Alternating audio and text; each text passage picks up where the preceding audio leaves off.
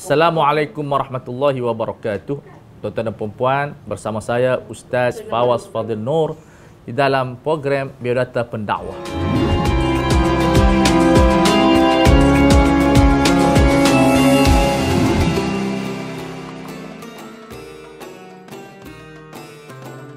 Nama saya Ahmad Fawaz bin Fadil.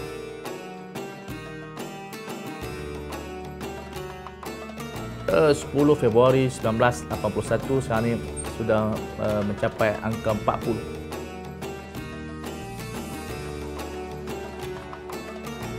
Ya, saya dilahirkan di Hospital Ustaz Kedah. Membesar di sana sehingga dewasa. Ya,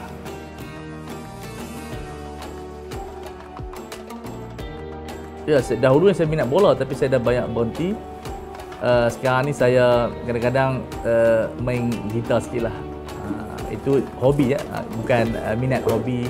Dan juga kadang-kadang saya apa nama tengok TV lah. Ya.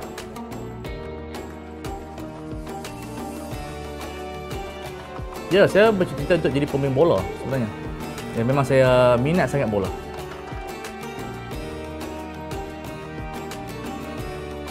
Saya makan suka sangat seafood.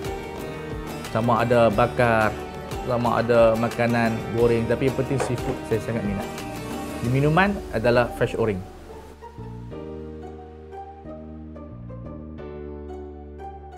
Warna favourite saya adalah hijau.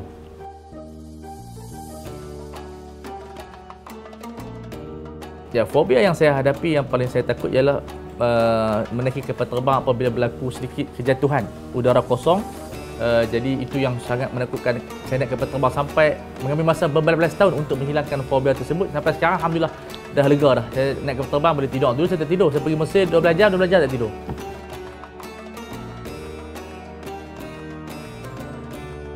Saya tak itu uh, bakat terpendam. Dulu saya sebagai pemain bola dah adalah nyanyian uh, bakat. Uh, sebab saya ada lirik lagu. Saya buat lirik lagu. Ya.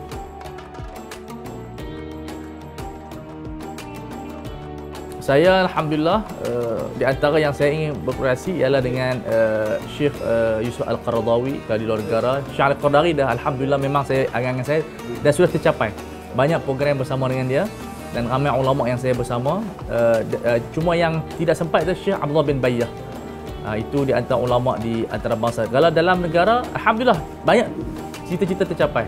Uh, saya ada Datuk Dok Bakar, ya, Datuk Izzat Arif, uh, banyak banyak program dengan dia. Jadi uh, tokoh-tokoh yang besar pun saya pernah uh, terlibat dengan Tok Guru Haji Adiawang, ya, ceramah bersama. Dengan apa nama dia Tuan Gunda Aziz pernah ada program bersama. Dia, dia dengar saya cakap lah walaupun ringkas. So itu dia. Tapi alhamdulillah banyak yang saya inginkan telah tercapai. Ya.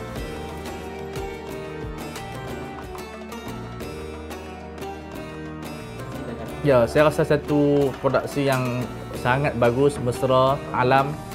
Saya dapat berkenalan dengan adik-adik, sahabat-sahabat dan ini membina satu maklumat kemanusiaan yang bagus untuk saya untuk lebih uh, uh, bekerja keras untuk bersama dengan masyarakat melalui produksi yang profesional dan saya yakin uh, di bawah apa dia takbiran ataupun uh, pengurusan Datuk Aida uh, saya doakan supaya lebih uh, maju ke hadapan more productivity uh, more excellent dalam kerja lebih uh, bermanfaat kepada masyarakat dan uh, mendekatkan diri kepada ilmuwan-ilmuwan yang insya-Allah mereka berkhidmat untuk umat insya-Allah. Terima kasih kepada penonton-penonton Bedota Pendakwa. Saya harap semua langgan dan follow program ini kerana program ini anda dapat mengenali uh, tokoh-tokoh pendakwa kehidupan mereka yang berfaedah uh, hidup mereka dengan ilmu dan dakwah. Cuma sedikit ya untuk hiburan. Macam saya ada sedikit hiburan saya katakan tadi itu dipanggil hobi tapi minat adalah kebanyakan kepada membaca dan menulis. Itu adalah hidup saya ha, bisnes tak ada tapi kita banyak kepada penulisan dan juga ilmu jadi adik-adik yang uh, mengikuti program ini akan menjadikan mereka tokoh-tokoh yang hebat ini sebagai ikutan when you admire when you admire one person your subconscious brain and conscious brain struggle to be that like person so bila kita minda bila kita minat satu orang minda sedar dan minda bawah sedar kita akan struggle untuk jadi orang seperti sedemikian rupa. Kalau kita minat tokoh macam Datuk Izhar, kita akan berusaha jadi macam Datuk Izhar.